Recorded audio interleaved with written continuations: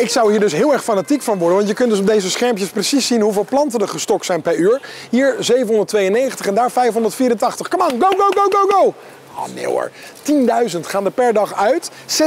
60.000 per week. En dat is 3 miljoen per jaar. En dat gaat niet vanzelf zoals je ziet. Bram van Bernhard Plantenkwekerij kan me daar vast meer over vertellen.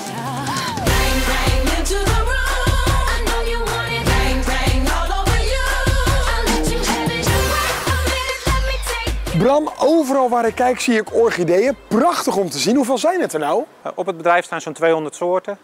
En waarin eh, wit de belangrijkste is, maar daarnaast andere kleuren als roze, paars, geel, oranje. Ja. Alle kleuren die je kan bedenken. Jouw opa is dit bedrijf begonnen, hè? Want we zijn te gast bij een echt familiebedrijf, begreep ik. Opa is eh, een jaar of 60 geleden begonnen met een groentekwekerij voor de stad Amsterdam. Er waren geen eh, uitbreidingsmogelijkheden meer voor het bedrijf. Toen is het bedrijf in Luttelgeest eh, neergestreken. En zijn er nou veel veranderingen met eh, nou, het productieproces toen en nu? Ja, het werk is veel aangenamer geworden. Vroeger was het zwaar handwerk, veel bukken met je handen in de grond. Tegenwoordig is het veel geautomatiseerd werk en lichtwerk. Hey Bram, nou staan we hier op een enorme stellage. Jullie gebruiken natuurlijk allemaal dingen om te kunnen produceren. Maar waar komt dit nou vandaan? Ja, alle techniek komt toch uit Nederland.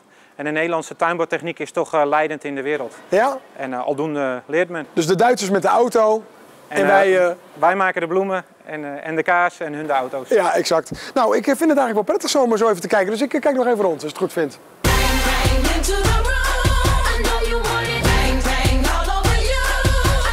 Hier kan je zien hoe de planten behandeld worden.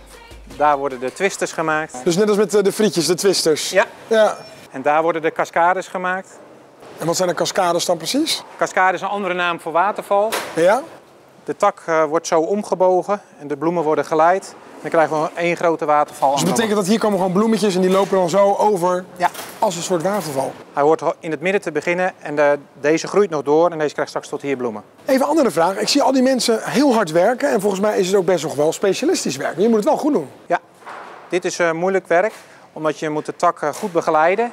En eh, ben je niet vaardig, dan wordt er vaak eh, breuk of vallen de bloemen af.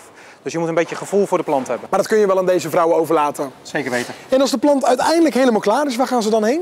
Deze planten gaan met vrachtwagens naar de distributiecentra in Aalsmeer en Naaldwijk. En vervolgens worden ze over de hele wereld geëxporteerd. Kan ik nog met de vrachtwagen mee? Als je een beetje opschiet, kan nog net. Yes, daar staat hij.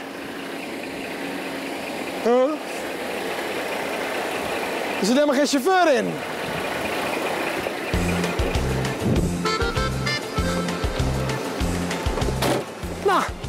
Ik gewoon zelf naar Alsmeer.